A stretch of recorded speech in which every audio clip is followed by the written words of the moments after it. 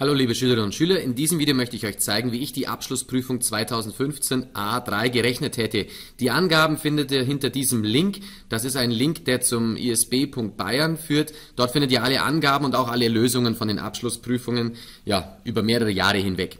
Es handelt sich bei der Abschlussprüfung um eine Aufgabe, die fünf Punkte gibt und es geht um eine Logarithmusfunktion. Die ist eigentlich relativ leicht. Äh, dazu schlagen wir am besten die Formelsammlung auf Seite 34 auf. Da steht nämlich genau dran, wann man was äh, berücksichtigen muss bei einer Logarithmusfunktion. Normalerweise steht an dieser Stelle, wo x plus 2 ist, steht ein x. Und das ist genau der Bereich, der definiert ist. Und beim Logarithmusfunktion ist es so, dass der Definitionsbereich, also xen, die man einsetzen darf, alle größer als 0 sein müssen. Das heißt, der Bereich ist bei uns jetzt nicht x, sondern der ist x plus 2. Der Bereich muss größer als 0 sein. Dementsprechend muss er größer als minus 2 sein. Denn x plus 2 muss größer 0 sein. Und wenn ich dann das, den 2 auf die andere Seite rüberbringe mit minus, steht dran, x muss größer sein als minus 2. Das heißt, wir schauen uns immer an, was ist der Definitionsbereich in der allgemeinen Funktion und schauen uns dann an, wie verändert sich die Funktion, die ich in dieser Aufgabe betrachte. Bei der Aufgabe 3.2 soll man die Umkehrfunktion bestimmen und die nach y auflösen. Umkehrfunktion bedeutet, dass ich y und x vertausche, also umkehre. Das heißt, da wo eigentlich normalerweise ein y steht, schreibe ich ein x hin und dort wo früher ein x starb, stand, schreibe ich ein y hin. Und jetzt muss ich das Ganze nach y auflösen. Das mache ich natürlich später durch die Umrechnung in eine, in, in eine, eine Potenz- oder Exponentialfunktion, aber zunächst muss ich mal den Einser rüberbringen, damit ich das machen darf. Also x minus 1. So, und jetzt habe ich das hier dran stehen. Dafür müssen wir in die Formelsammlung auf Seite 18 gehen. Da heißt nämlich, dass wir diesen Logarithmus in äh, eine Exponentialfunktion umwa umwandeln können. Das, was als Basis dran steht, das bleibt meine Basis. Das, was hier dran steht, wird in den Exponenten geschrieben und das ist dann das ist gleich. Also bleibt stehen y plus 2 ist gleich 2 hoch x minus 1. Das muss man sich immer wieder vor Augen führen. Ähm, den Beweis haben wir ja schon gemacht, aber so wird das Ganze quasi umgerechnet, so dass ich aus dem Logarithmus rauskomme. Und das muss ich hier machen, weil ich ja nach y auflösen möchte.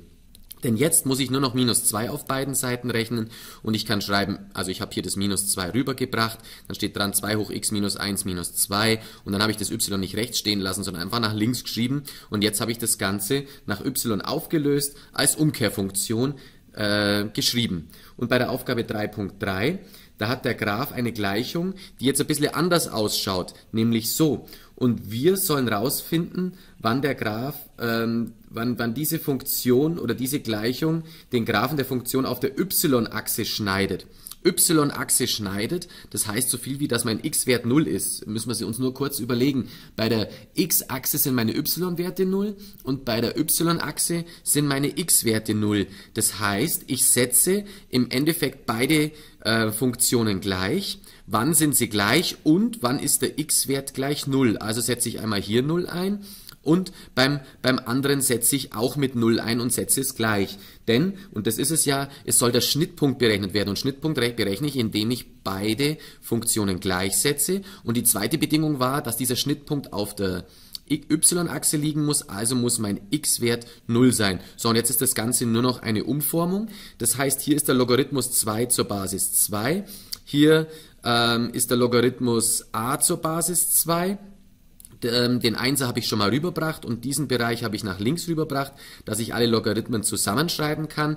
Da kann ich jetzt theoretisch ein Logarithmusgesetz anwenden. Wenn nämlich die Basis identisch ist, dann darf ich, wenn ein Minus dazwischen steht, ähm, die beiden hier dividieren. Das heißt, die Basis bleibt identisch, aber das da hinten, ich kann es zusammenfassen durch, durch, zu 2 durch a. Also nochmal, wenn die Basis identisch ist und ein Minus zwischen den beiden Logarithmen steht, dann darf ich das da, was da hinten steht, dividieren und die Basis Basis belassen.